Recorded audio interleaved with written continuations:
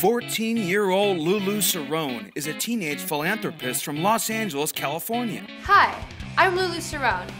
I'm an eighth grader who started a nonprofit organization called LemonAID Warriors when I was 10. She founded LemonAID Warriors when she was 10 years old. I started LemonAID Warriors to unite kids to turn their passions into action and make giving part of their social lives. LemonAID Warriors shares creative action plans so kids can make social activism part of their lives. They do so through events called philanthroparties. So far, LemonAID Warriors have raised over $56,000 for global and local causes. We throw concerts for free and ask for donations to our favorite causes. That's how easy it is to use your talents to help a good cause. Lulu shared her philanthroparty action plans with Mattel, and the Ghouls Helping Ghouls campaign was born.